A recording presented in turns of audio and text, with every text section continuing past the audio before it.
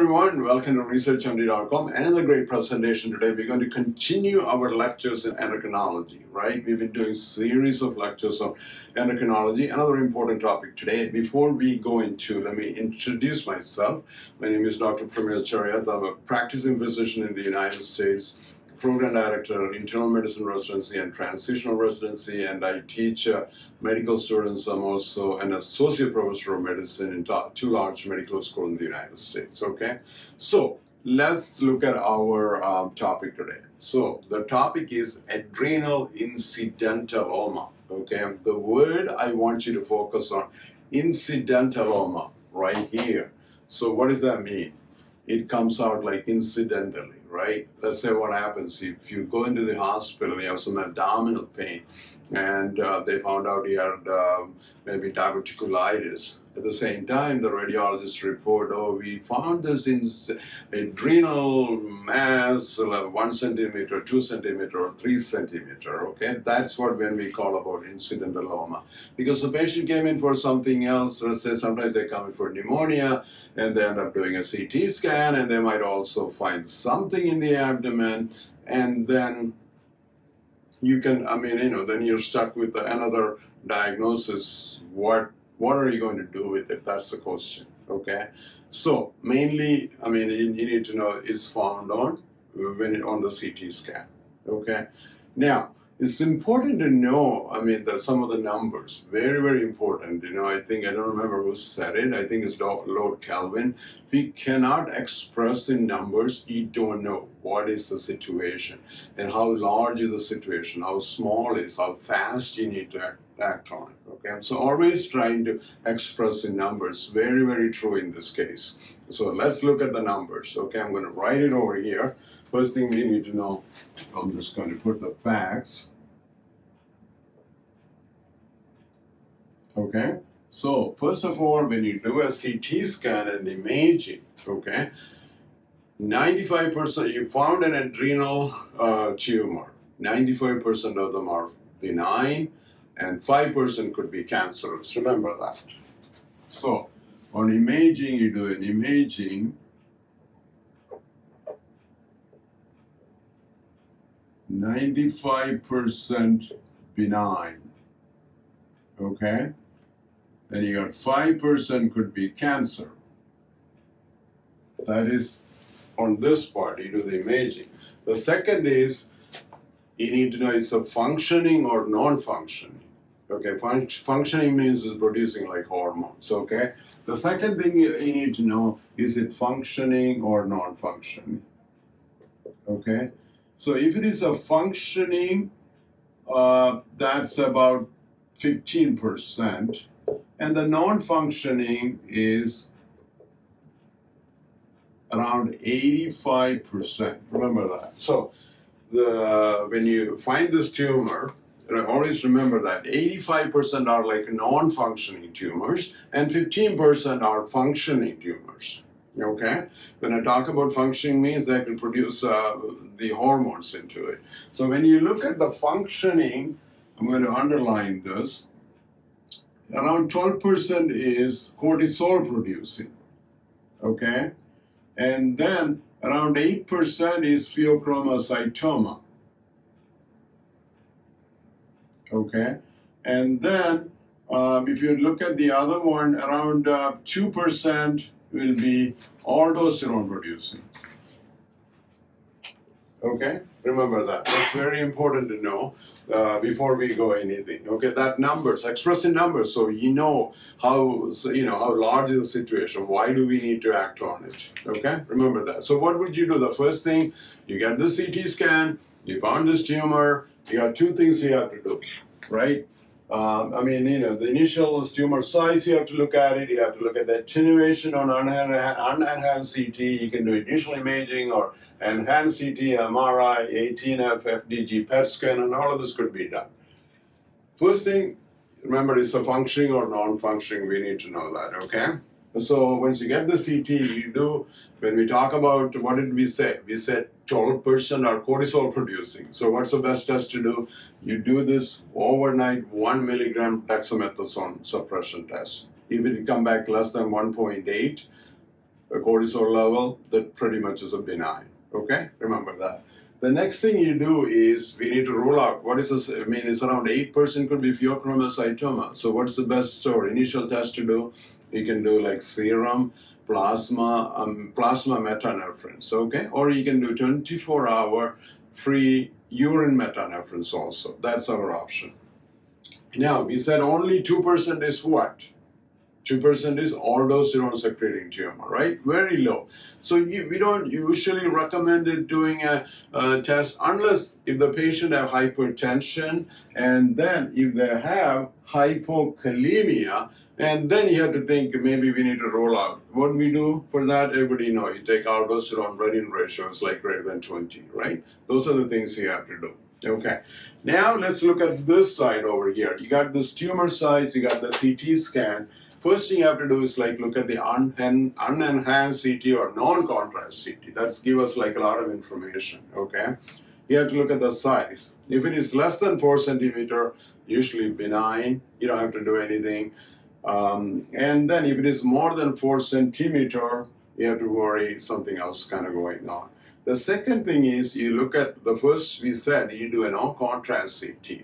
Okay, so most of this benign adenoma they got a lot of lipid in it in, in there. Okay, that's how do they measure the lipid? Radiologists uh, they might hear the term like Hounsfield unit. So if there is a lot of lipid, the Hounsfield unit is going to be very less. Remember that. Okay, so if they did a, a non-contrast CT and if it is less than 10 Hounsfield unit, and then usually it's kind of benign.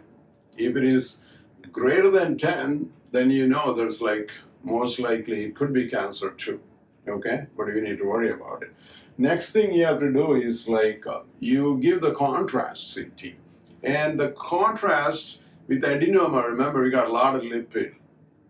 So what happens if you give the contrast, the contrast will you know get rid of fast.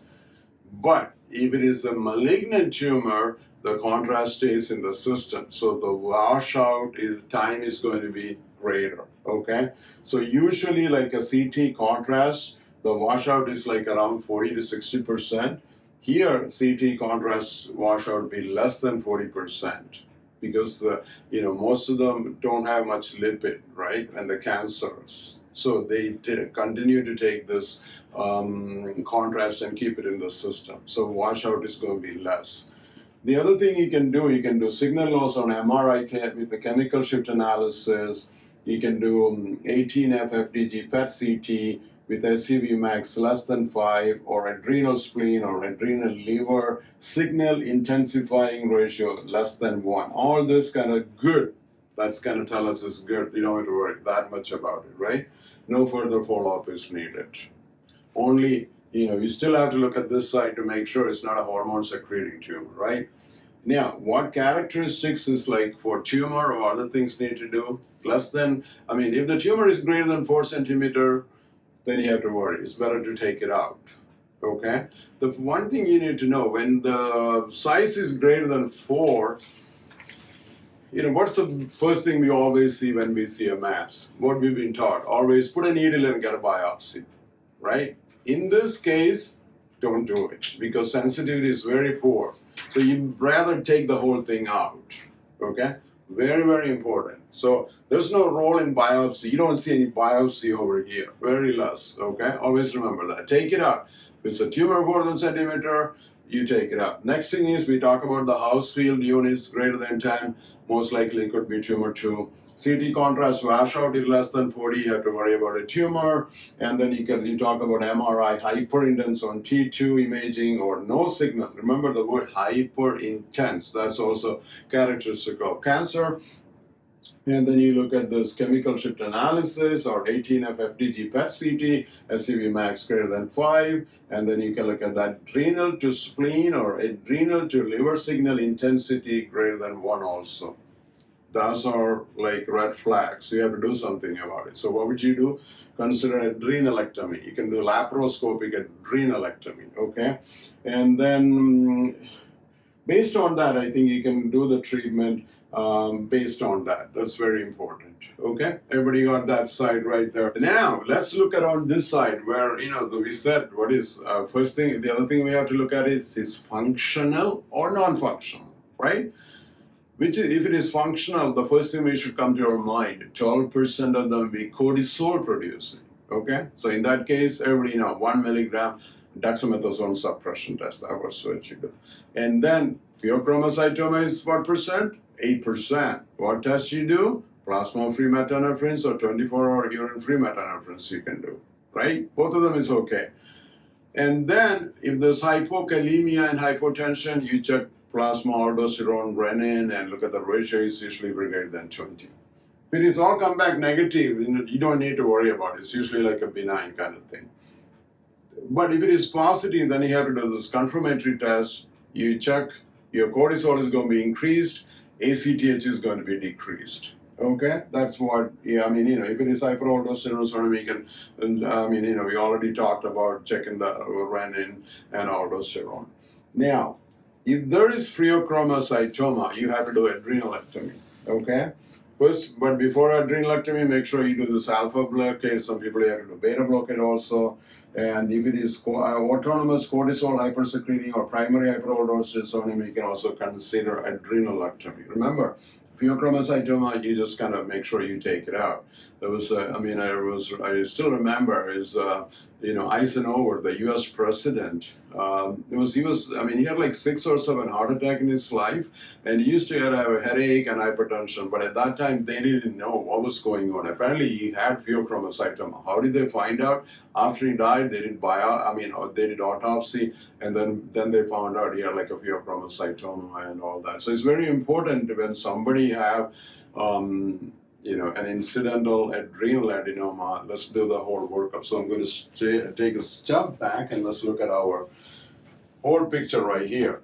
Hope everybody can see this whiteboard. You know, I always say like, why, I mean, you know, why are we using whiteboard? Because where else you can see the whole picture on a board, you can just take a look at it and see what's going on, right? Otherwise, when we make a presentation in, um, it's easy to make presentation in the PowerPoint, and then kind of talk about it. But but you, who wants to go through one slide after the other slide? That's what we do it. Make sure you watch all our videos, okay? So let's look at the facts right here. 95% benign, 5% malignancy, right? And then you look at is it functional or non-functional? 85% is uh, non-functional, 15% functional, and then we have this number out of this 15, 12% is cortisol, uh, producing 8% pheochromocytoma, around 2 to 5%, I mean 2.5 to 2 or 2.5% is aldosterone. It's like very less, okay? And then you look at uh, the test usually is an adrenal incidentaloma. You get a CT scan and they find it, and they'll tell you what's going on. So you got two parts. Both of them should be done at the simultaneously, right? You look at the CT characteristic, Look at the size, the number again, 4 centimeter or greater, you have to worry about the cancer. If it is greater than 10 Hounsfield on the non-contrast CT, don't forget it. Okay, and then you can consider, you should consider malignancy. And then you also look at the washout you know, the adenoma wash out fast, cancer doesn't go, I mean, it kind of stay in the, in the tumor, so washout is going to be less, and then you can do some additional MRI, you can do hyper intense is the word you look on T2 imaging, okay? And then you can do this chemical shift analysis, 18F FDG PET CTs, uh, SUV max greater than 5, adrenal to spleen or adrenal to liver signal intensity greater than 1. All these are characteristics of malignancy. And then I'm going to say it again. Is there a role for biopsy? No, no, no. Okay?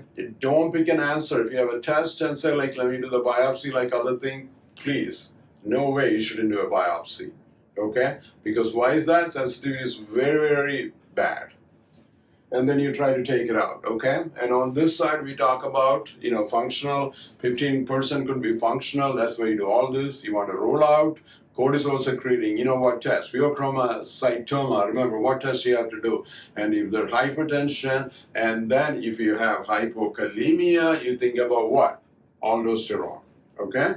And then you have to do this confirmation testing. There's going to be, of course, there's going to be increased cortisol, decreased ACTH, and then consider adrenalectomy, uh, make sure you do the alpha blockade and beta blockade, okay? Thank you so much for watching. Very, very important topic. And just remember you the numbers, when to investigate, and what are the characteristics of malignancy, what characteristic of pheochromocytoma, so you don't want to miss it. Okay? Thank you so much for watching. Please study hard. We'll be back with another presentation. If you could help us, hit the subscribe button because it takes a lot of effort and time, like three, four people to make videos like that. And we want to finish our endocrinology series. We still have a lot of work to do, but thank you so much for your support, my friends.